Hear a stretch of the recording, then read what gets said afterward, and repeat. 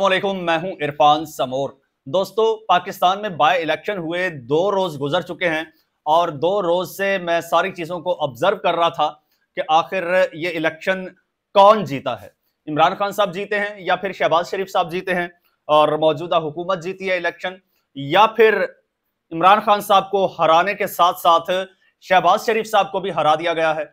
मैं दो दिन से शहबाज शरीफ साहब के एक्सप्रेशंस नोट कर रहा था और उनको देख रहा था कि आखिर वो इस बारे में क्या राय रखते हैं और स्पेशली इमरान खान साहब जो हैं, वो इस इलेक्शन के बारे में क्या मौकफ देते हैं। तो जनाब, दो दिन में सारी चीज़ें क्लियर हो गई हैं और बहुत सारे नए चैप्टर्स जो हैं, वो रिवील हुए हैं, खुल गए हैं। एक एक चीज़ आज मैं आपके साथ शेयर करूँगा और आपको बताऊँगा कि जनाब कैसे इस इलेक्शन के और इस मार्के के भी इमरान खान साहब जो है, वो फाते ठहरे हैं।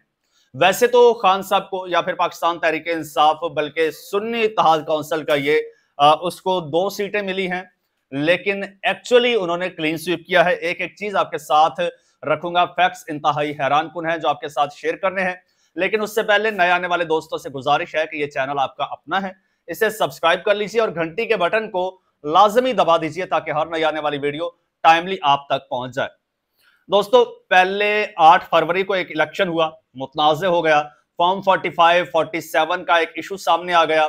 लेकिन अब जो है जब बाई इलेक्शन हुआ तो वही हुआ जो एक्सपेक्ट किया जा रहा था। और लेकिन इस बार फॉर्म 45 और फॉर्म 47 का झंझट ही खत्म कर दिया गया। क्योंकि इलेक्शन से पहले ही जो है वो जितने भी पोलिंग एजेंट्स थे उनसे साइन ले लिए गए कि भाई बाद में टाइम नहीं होगा बाद में हमें ज़ाहिर सी बात है बहुत सारे मामला करने होते हैं तो भाई आप तो यहाँ से साइड पे हो जाना, आप सिग्नेचर करके फारिग हो जाए, बाकी हम खुद संभाल लेंगे। वैसे ही हुआ, इस बार वो जिस तरह से थैले भी चेंज किए गए, और जो बॉक्सेस थे, उनमें वोट पहले से डाले हुए थे, लेकिन लेकिन दोस्तों कुछ बड़ी हैरान कन चीज़ें सामने आई।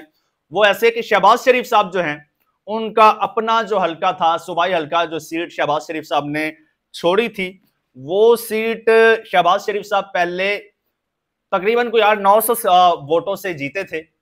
लेकिन वो भी फॉर्म 47 के मुताबिक, फॉर्म 45 में वो बात भी जो है, वो हल्का भी अभी तक उसका केस भी चल रहा था। अब उसमें बाई इलेक्शन हुआ है और बाई इलेक्शन में यानी शहबाज शरीफ साहब जो सीट 900 वोटों से जीते थे, अब वहाँ से कोई और कैंडिडेट पीएमएलएन का वो हज़ारों वोटों से जीत गया है।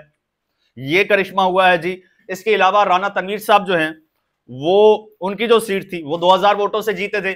उनकी जगह अब जो नया कैंडिडेट आया है, वो कई हज़ार वोटों से जीत गया है। और इसके अलावा और बहुत सारे जनाब आपने करिश्मे देखे थ्रू आउट और जो एक्सपेक्ट किया जा रहा था कि भाई ये रात 12 एक बजे रिज़ल्ट चेंज कर लिया जाएगा, लेकिन पहले ही मामला क्लियर हो गया। कहीं तो पुलिस ने सहूलतकारी की और फुल सहूलतकारी की, जिस तरह से इवन पुलिस ने खुद ठप्पे लगाए। ऐसी बहुत सारी वीडियोस भी सामने आई ठप्पों की। हामिद मीर साहब ने भी एक वीडियो शेयर की और पोलिंग स्टेशन के दरवाजे बंद करके अंदर खूब बैग भरे गए और बैलेट बॉक्सेस भरे गए। तो इस हवाले से जनाब, एंड एट द एंड जो है वो पीएमएलएन को कोई सात सीटें मेरे ख्याल में मिली हैं। सुबाई की और दो नेशनल असेंबली की सीटें मिली हैं।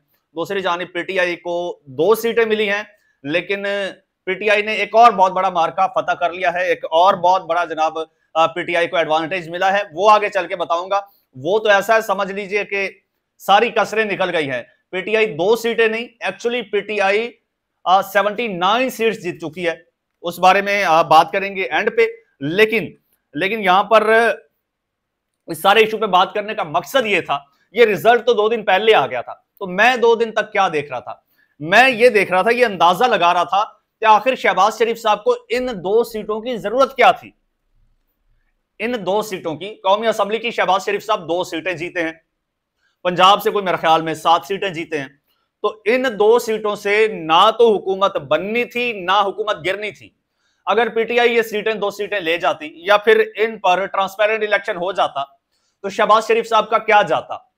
या फिर जो सूबाई सीटें हैं, अगर वो ट्रांसपेरेंट तरीके से, एक फेयर तरीके से इलेक्शन हो जाता, या जितना भी बाई इलेक्शन है, कम अज कम पीटीआई का जो नैरेटिव था वो तो कमज़ोर होता ना।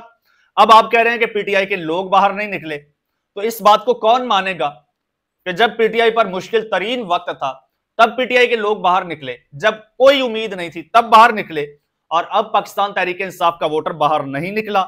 ये कैसे पॉसिबल है? आ, तो ये आपका जो बयानिया है यहीं पर ज़मीन बोस हो जाता है। दूसरा शहबाज शरीफ साहब इस वक्त उनकी आप बॉडी लैंग्वेज देखिए वो इस वक्त इवन इंटरनेशनल कुछ लोगों से मिल रहे हैं सरबराहान से मिल रहे हैं ईरानी सदर पाकिस्तान में मौजूद हैं लेकिन जब वो किसी से मिलते हैं तो उनका कॉन्फिडेंस देखिए कि उनमें कॉन्फिडेंस है ही नहीं। आ, क्यों? वो भी आप जानते हैं। जनाब जब आप जीत कर नहीं आते आप पर इस तरह के एलिगेशन होते हैं आप अपने आप को क्लियर नहीं करते और आप एक पोजीशन पर बैठ जाते हैं तो आप कैसे कॉन्फिडेंटली आप काम कर सकेंगे? नहीं हो ही नहीं सकता पॉसिबल ही नहीं है। आ, तो जनाब इस हवाले से अब पाकिस्तान तहरीक इंसाफ क्या करने जा रही है वो भी आपको बताता हूँ लेकिन पहले आपको बता देता हूँ कि जनाब इमरान खान साहब जो हैं वो इस हवाले से उन, उनका भी अब मौकफ सामने आ गया है। खान साहब का मौकफ जो सामने आया वो बड़ा ज़बरदस्त है लेकिन अब पाकिस्तान तहरीक इंसाफ ने जुम्मे के रोज प्रोटेस्ट का ऐलान कर दिया है। पाकिस्तान तहरीक इंसाफ वैसे तो पहले ही इस सिलसिले में जनाब प्रोटेस्ट करने जा रही थी इवन एक तहरीक चलाने जा रही थी। अब आपने पाकिस्तान तहरीक इंसाफ के मौकफ को मजीद तकवीत दे दी है और अब पाकिस्तान तहरीक इंसाफ का जो नैरेटिव है, वो मजीद मज़बूत हो गया है कि भाई हाँ ये देखिए, पहले जनरल इलेक्शन में धांधली हुई और अब बाई इलेक्शन में नंगी धांधली हुई है दोस्तों, खुलकर धांधली की गई और की गई या करवाई गई। आखिर शहबाज शरीफ साहब को ये दो सीटें क्यों दिलवानी थी? बेसिकली शहबाज शरीफ साहब को एक्सपोज करना था और दिखाना था पूरे पाकिस्तान को कि शहबाज शरीफ साहब अपनी हुकूमत होते हुए क्या कुछ कर रहे हैं?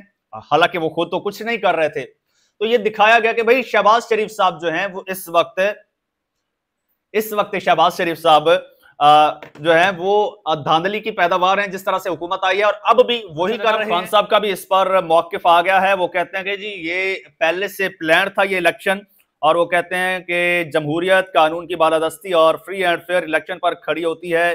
और, मगर यहाँ जंगल का कानून है। पंजाब के जिमनी इलेक्शन में पुलिस ने मुदाखलत की। पंजाब का जिमनी इलेक्शन पुलिस ने लड़ा है। और खैबर पख्तूनखा में वो ये कहते हैं कि खैबर पख्तूनखा में इस तरह का कोई वाक्य नहीं हुआ, कोई एफआईआर नहीं कटी, ना ही कोई धांधली हुई है, ना ही कोई धांधली की शिकायत आई है। और, खान साहब ने कहा कि मुल्क में कोई जमहूरियत नहीं है। ये आठ फरवरी से डरे हुए थे। अक्टूबर से फरवरी तक इंतबात सिर्फ़ पीटीआई को क्रश करने के लिए मुलतवी किए गए। और वो ये भी कहते हैं कि सुप्रीम कोर्ट में भी हमारी पिटिशन इसलिए नहीं सुनी गई कि वो भी पीटीआई के क्रश होने का इंतज़ार कर रही थी। और वो कहते हैं कि पीटीआई का नामो निशान खत्म करने के लिए हर हर बार इस्तेमाल किया गया, मुल्क में अखलाकियात को खत्म करके अक्सरियत को अकलियत में तब्दील कर दिया गया। पंजाब का इलेक्शन पहले से प्लान था और जिमनी इंतबात में पहले ही डब्बे भरे हुए थे। तो अब जनाब तहरीक इंसाफ जो है वो एक तहरीक चलाने जा रही है। आ, उसको देखेंगे। एक और आपको बात बता दूँ पाकिस्तान तहरीक इंसाफ वैसे तो दो सीटें जीती है लेकिन दो सीटें जीतने के साथ सुन्नी इतिहाद कौंसल अब पार्लिमानी जमात बन गई है जिस पर इलेक्शन कमीशन का एतराज़ था कि सुन्नी इतिहाद कौंसल चूँकि पार्लियामेंट्री पार्टी नहीं है इसलिए सुन्नी इतिहाद कौंसल को मखसूस नशस्तें नहीं दी जा सकती।